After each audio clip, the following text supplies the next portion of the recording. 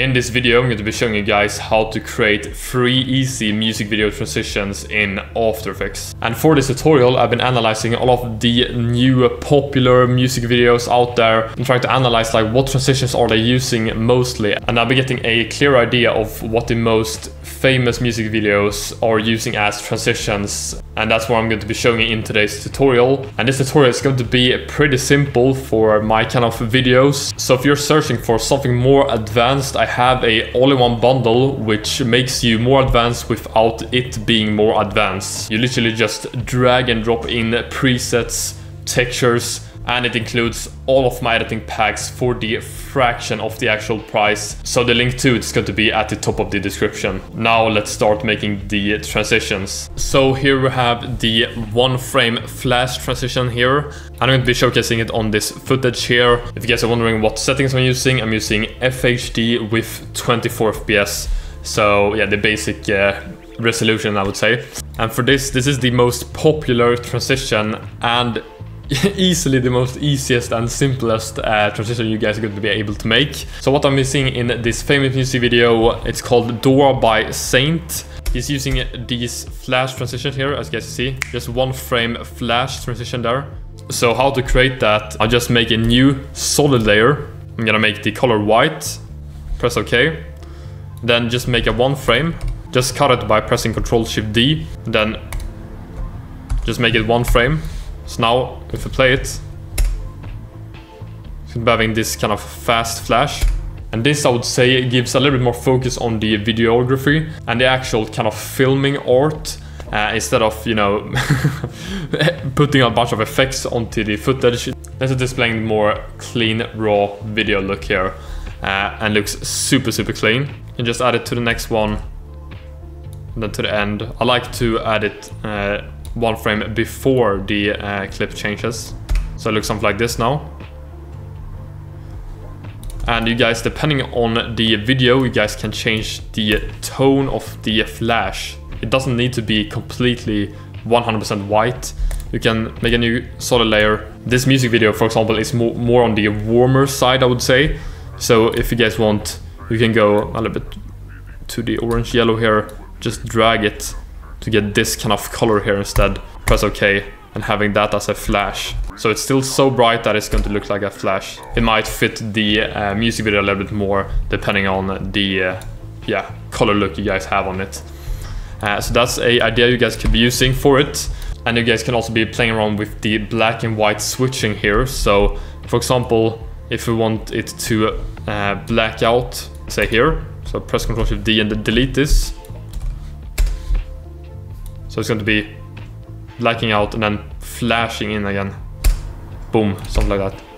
Looks very, very clean. Now moving on to the next transition and I'm going to be showing you guys a flicker transition you guys could be using for the music videos. It's super, super easy to make and it's super, super clean as well. So what you're going to be doing is basically add a new adjustment layer by pressing Ctrl Alt Y. And here I would go, I mean for this half of the clip, so something like that and then do the same for the other side. Something like that, cut it, Control Shift D to cut it. And if you guys want to have a frame reference, this is 18 frames long, this adjustment layer. So 9 frames on each clip here. So what we're going to be adding here is an effect called Sapphire Flicker here. This is easily one of the coolest flickering effect you guys can be adding to a adjustment layer.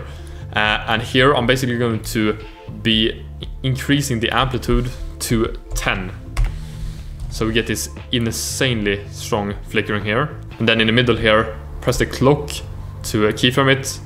Go to the beginning, set it to zero. Go to the end, set it to zero there as well. Then we can rename this to flicker transition, something like that. Then open the layer up, effects, flicker. Mark the keyframes here, press F9. And then we can open up the graph and here I'm gonna make a simple sharp graph. So just drag this one all the way to the middle here, this one in like that, in like that, this on the other side in like that as well. So it's going to be slow in the beginning and then fast towards the transition point which is here. It's going to look something like that. And the sharp graph, why we're even adding that is to make a little bit more impact to our transition. So it looks something like this now.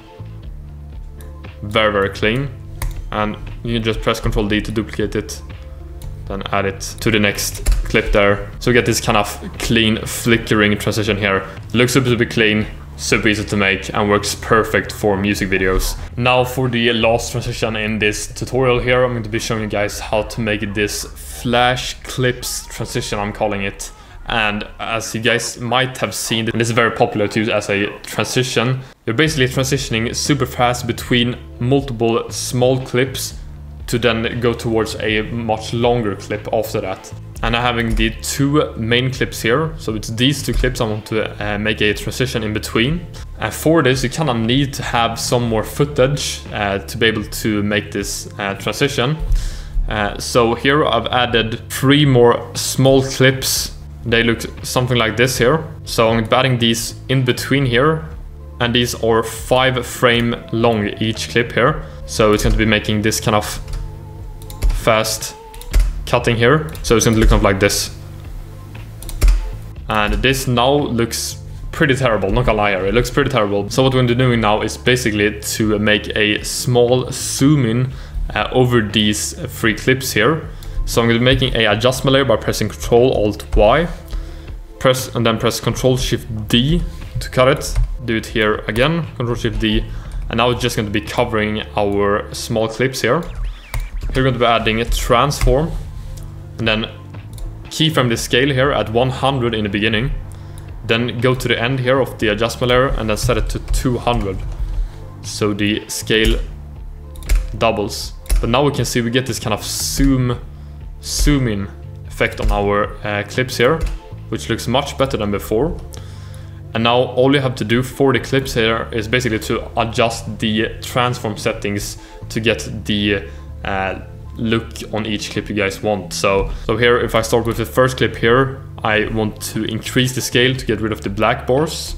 And then maybe reposition our artists here a little bit, something like that. So now the first clip looks something like this now. That looks good. Now I can go to the second one. Here I could zoom in a little bit, change the position a little bit. Then when you're satisfied, go to the last clip, open up transform. Here I want to zoom out a little bit, do something like this, zoom in, something like that. Quick customizations, and now when we play it, we get this look here. Dun dun dun.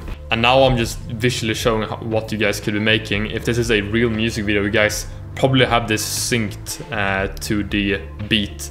This transition here, this is how it looks. Looks super super good. And now as I showed in the first transition, we could just simply just add a solid layer.